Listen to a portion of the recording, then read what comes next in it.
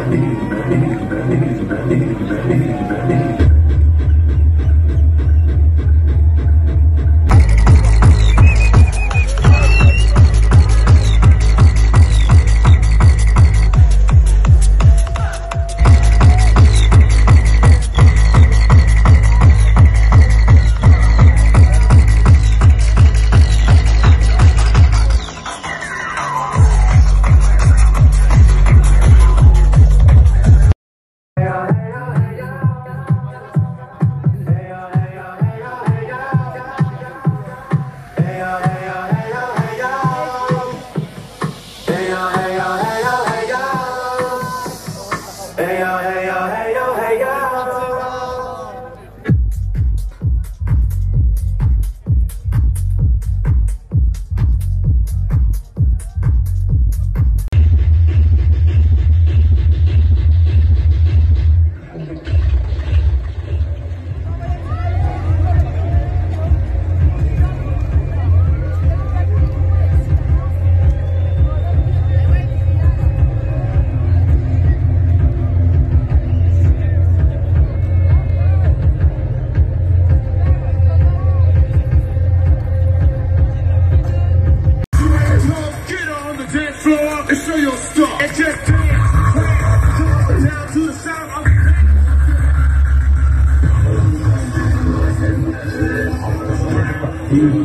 Voilà